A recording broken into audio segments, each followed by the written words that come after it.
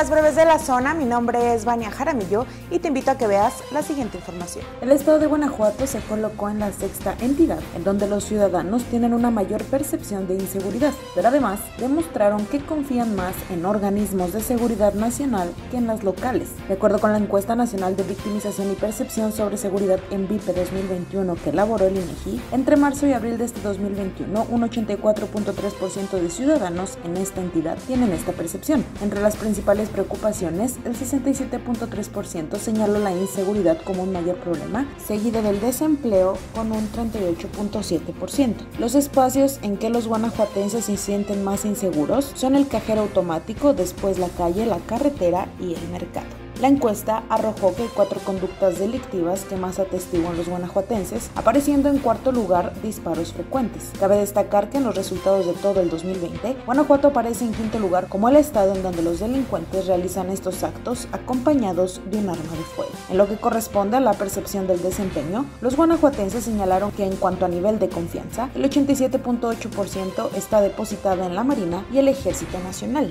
Le sigue la Guardia Nacional, la Fiscalía General de la República, y hasta el quinto lugar aparece la Fiscalía General del Estado, así como los ministerios públicos. En los últimos lugares, el 63.4% confía más en la Policía Estatal y en un 56% en las policías municipales.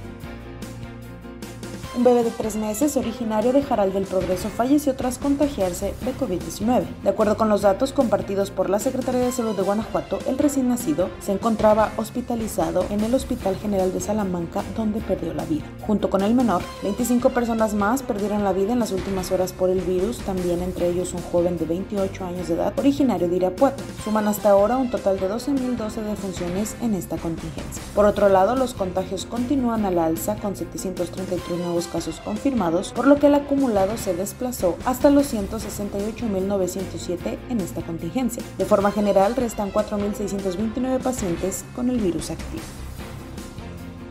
Todo está listo finalmente para que este próximo 26 de septiembre se realice una edición más de la Maratón León Guiar, la 41 de la historia. Pilar Esquivel hizo entrega de los avales tanto nacional como internacional de la competencia. Después de que el año pasado se tuviera que realizar de manera virtual por la pandemia, ahora los corredores podrán volver a las calles con todas las medidas de salud para evitar que se presenten contagios. Los directores de las diversas dependencias que estarán participando de manera integral como el caso de movilidad, tránsito, obra pública, policía y servicios de salud. En total, en cuanto a servicios de salud, contando Cruz Roja, bomberos y protección civil, habrá 46 elementos en ruta, 10 ambulancias, 2 motocicletas y una motobomba. El director de la Comu de León, Roberto Elías Orozco, y el director de Code Guanajuato, Marco Gaxela, resaltaron el esfuerzo que se ha hecho para tener nuevamente el evento de la ciudad con gente en las calles. Para esta ocasión, la bolsa de premiación es de 512 mil pesos.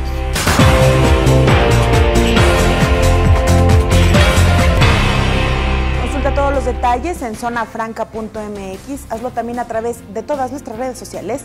Y por supuesto, mañana mi compañera Carmen Martínez tiene para ti mucho más información.